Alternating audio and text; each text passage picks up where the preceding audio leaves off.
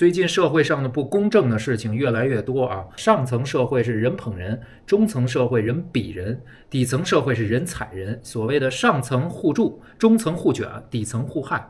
那么结合最近的一些热搜事件来谈一谈如今的这种社会形态吧，还有我自己的一点想法。咱们还是边走边聊。先说一下底层互害，底层人踩人吧。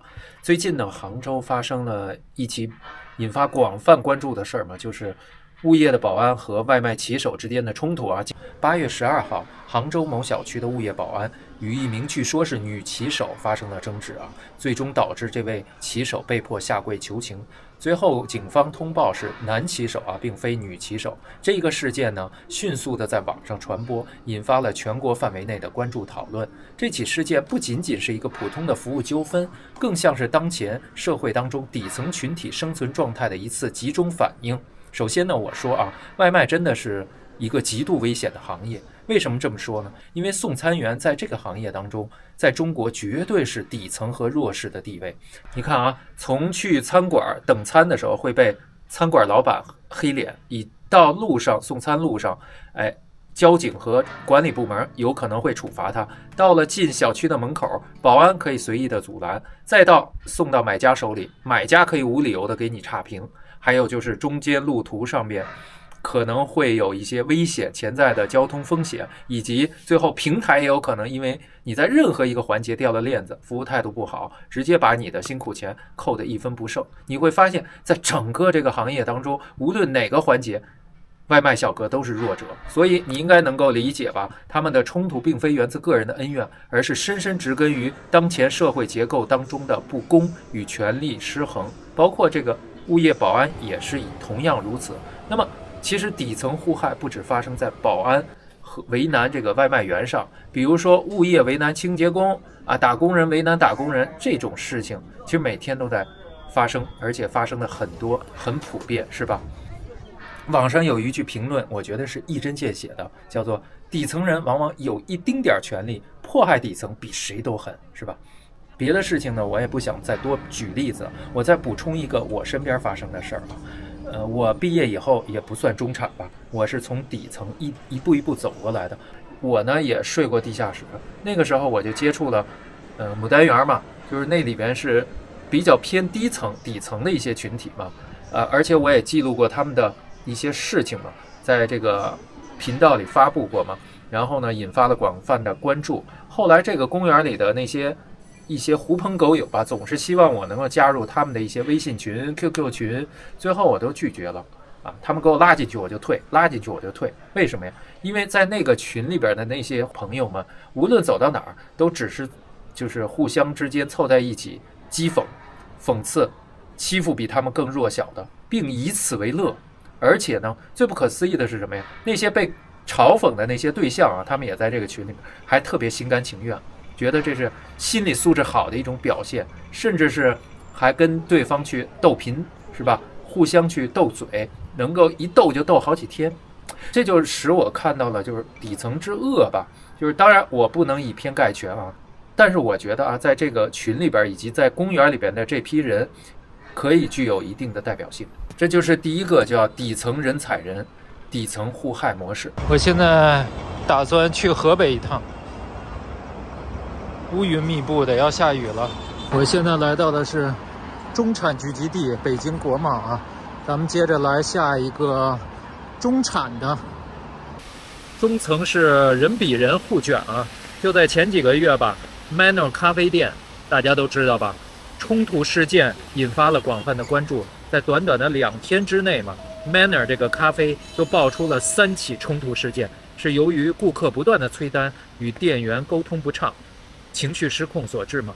这些事件，我觉得不仅仅是底层互害了啊，和上面那个外卖员和保安的冲突性质完全不同，它恰恰是中层互卷、中层人比人的一个导致的最坏的结果啊。咖啡奶茶店在国内是遍地开花嘛？我们看这几年啊，就是咖啡奶茶店卷到飞起吧，就是打产品战、价格战、服务战已经很多年了，就是价格低就要求。员工忍气吞声的，整个行业特别的内卷嘛。然后一方面要求这种呃，公司内部高强度的监控和严格的工作流程。一方面呢，面对顾客你还得微笑服务，不耐烦，没有任何怨言，是吧？服务效率要很高，然后服务好，必须要求员工去忍气吞声的，导致他们最终还是情绪失控了，然后呢，出现了这种暴力行为嘛。我看有一个内卷的比喻挺精彩的，就好比大家在一个电影院里围坐在一块儿看电影，突然第一排的人全部都站起来了，那你肯定挡住后边人的视线了嘛？于是后边人也都站着看电影，直到电影结束，是吧？其实这里就出现了一个尴尬的问题，什么呀？每个人都得站着看电影的时候和坐着是一个角度，是吧？并没有因为你站着看电影你就能看得多。而更可气的是，前面那排人突然又垫起脚尖来了。现在，于是后边人也得怎么样，垫着脚尖看，很累，但是没有办法，这就叫内卷。离开了我们东亚文化圈啊，我们再到西方的电影院里，他们是怎么看的这个电影呢？第一排的人啊，不仅不站着看电影，他们后来还躺下了。然后后边的人呢，看到第一排躺着看电影也很舒服啊，于是后边人也都躺着看了。这你就会发现一个问题啊。躺着看的角度和坐着也是一样的，对吧？而且你不能坐起来，你一旦坐着看电影，那后边躺着人你就给人视线挡上了，是吧？人家后边人就不干了。因此，你看西方那边人家是反卷反内卷，是吧？其实这种内卷的环境不只是体现在中国吧，东亚整个文化圈都是如此吧。卷完自己卷其他人，卷完其他人又卷自己的后代。大家知道，除了货币以外啊，还有什么当今？是贬值速度最快的嘛？在中国的话，那就是学历啊，因为所有的中产家庭的家长都在拼命的给孩子加码上各种的补习班、辅导班，都在比拼学历，是吧？卷到最后，大家现在都是本科毕业了，甚至是硕士，甚至九八五、二幺幺名校，对不对？所以本科、硕士学历这个优势已经荡然无存了，这就是内卷的后果。这中层啊、中产啊，就是人比人啊。就是中层内卷，你看我现在已经到河北了，这后边就是美丽河北。今天在去河北的路上下了很大的大暴雨啊！你看这窗户上，汽车现在都快变成轮船了。这是北京和河北交界的那条河，叫潮白河。有人问我说，河北北京有没有边界墙啊？是没有的，大多数地区都是没有。你看这。河北这小区的路还是坑坑洼洼的，上次我就走的这个踩了一个坑，然后就骨折了，脚踝骨折，哎，没辙，这没人给你修啊。再说下一个，就是上层人捧人，或者叫顶层互助，富人之间啊互相吹捧、互相成就，和底层人是不一样的。你帮我，我帮你，然后争取把事业做得更好。老实说啊，我没有达到这过这个层次，认识上层顶层人士还是有限的，所以我不好做多评价。但是我认识过去有一个朋友，他算是一个屌丝吧，生活本来很清贫，住在地下室，但是他和其他住地下室的狐朋狗友不同，就是他总能在北京认识一些大老板呢，富二代、官二代呀。然后创业的海归呀，等等的，跟他们聊得很投缘。后来呢，有一个老板就很信任他，把他列为了合伙人，一起做一个项目。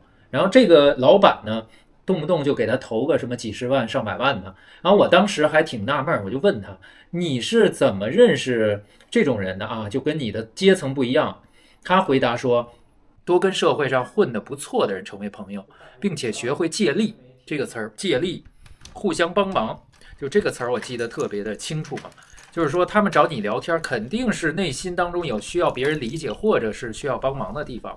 聊天的过程也是互相对接资源的机会嘛。你缺的是钱，但是对方并不缺钱，他们可能缺的是经验啊，某个领域的知识储备啊，或者是某某种关系人脉，就是大家各取所需嘛，是吧？这就叫借力嘛。能爬到顶层上层的人，一定是懂得相互借力的。后来我这个朋友英年早逝啊，有点可惜呀，不然现在应该也成就一番事业了吧。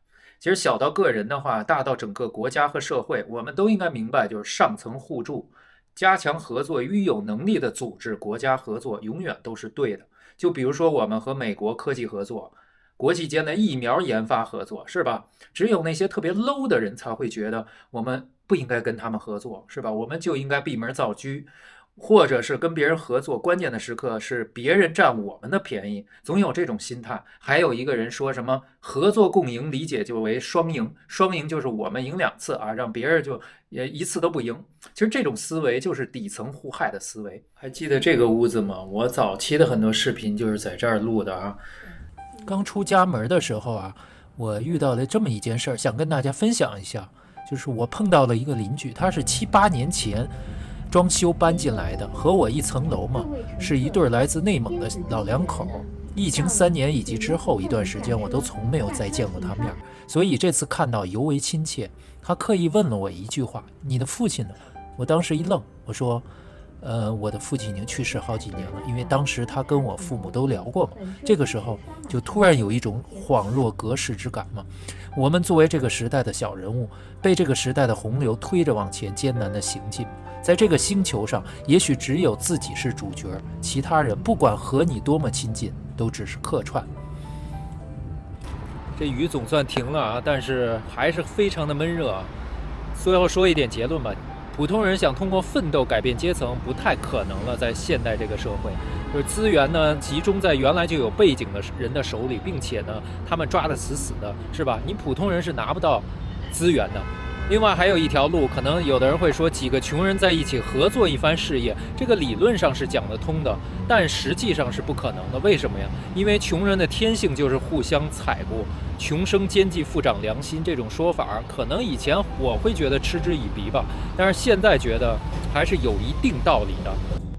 我又要回京了，从河北到北京，经过检查站，等待有十几分钟吧，因为比较堵车嘛。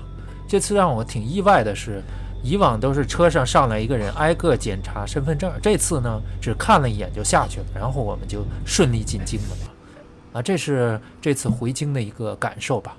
哦，下个礼拜可能我的泰国 DTV 签证就要出来结果了，呃，敬请关注吧。希望您能点个赞、订个阅，感谢收看，我们下期再会。